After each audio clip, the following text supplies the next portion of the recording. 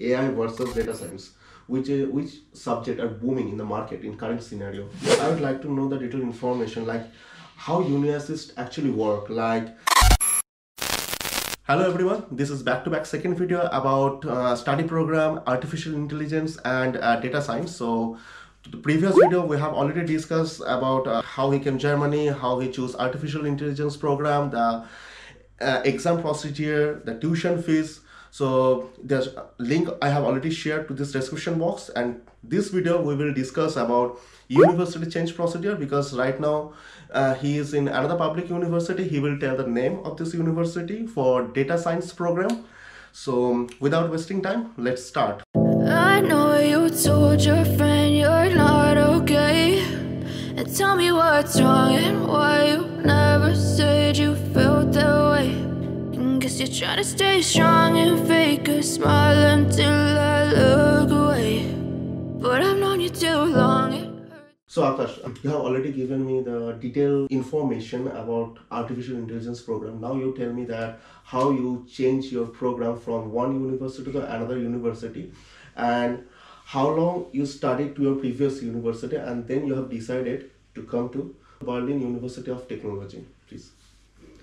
So uh, previously I studied in Deggendorf Institute of Technology for one semester complete. I also given all the exams. -hmm.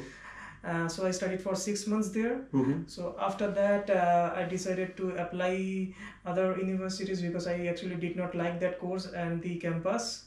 Mm-hmm. And there was not so much exposure, mm-hmm. but you can also like that. Depends on what you are looking for. Mm-hmm. Uh, so after that, I tried to apply very data science courses in other universities. Mm-hmm.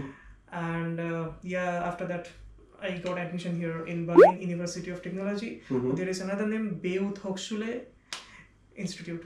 Okay, so for, uh, just let me know that, please tell me that what is the procedure like uh, is there any certain time like you have to complete it for six months to your previous university then you can apply for another university is it like that actually no there is no rule like that.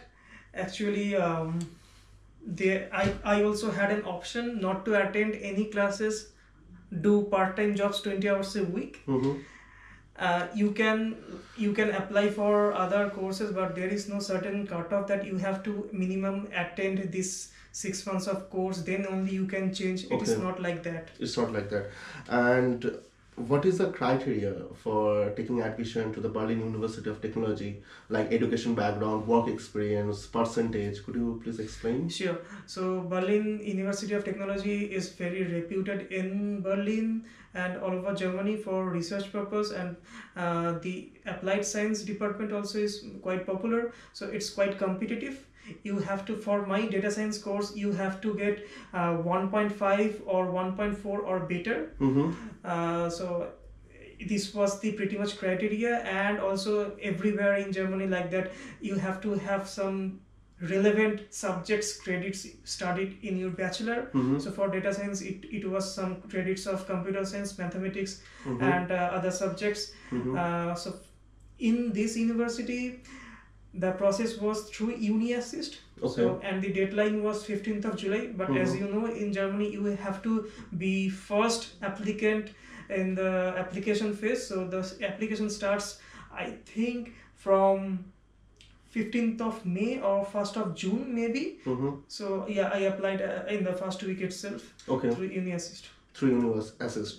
And um, uh, before asking you the education fees, I would like to know the detailed information like how UniAssist actually work. Like you apply you uploaded your all the educational details backgrounds uh, educational details like certificates everything and that UniAssist will help you that you can apply those those colleges or something? How they help you that website to getting admission to the good reputed university so first first of all we have to understand what is UniAssist and why is it in germany? Yeah so please. UniAssist is a one to many platform mm-hmm. that acts as a central platform to um, apply all the partnered universities mm-hmm.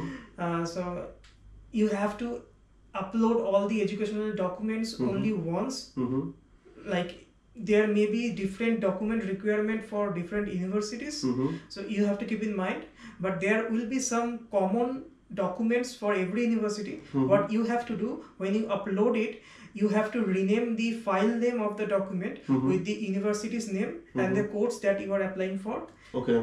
and another thing is uh, the extra documents that is for in specific university you have to upload uh, for the universities you are applying for on the UniAssist. Okay. So it's only once you upload the documents and it will send this document whatever the universities you are applying for.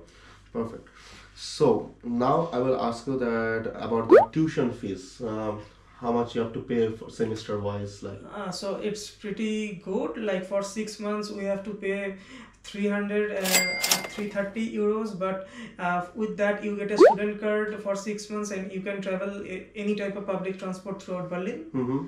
so it's yeah Oh, that's really nice. So you decided that you have to move. I mean, you have decided that you will move from AI to data science. So, so do you think that uh, till now, if I compare like AI versus data science, which uh, which subject are booming in the market in current scenario?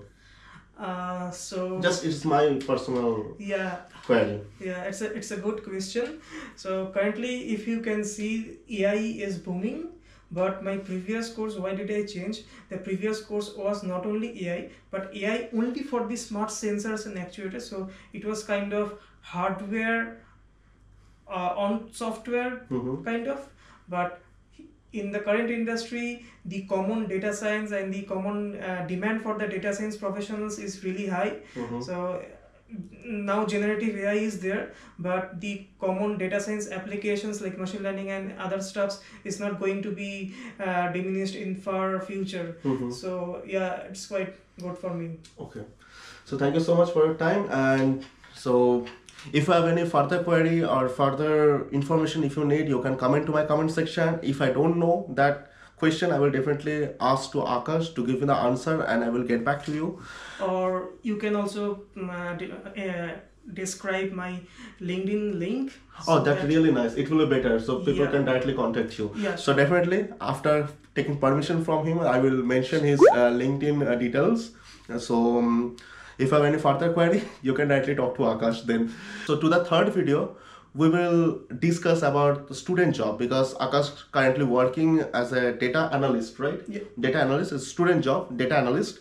So to the third video, we will discuss about this topic. So thank you so much who like and subscribe my channel and those who didn't please do that because your support motivate me to make more informative videos. Thank you so much. Be safe and take care.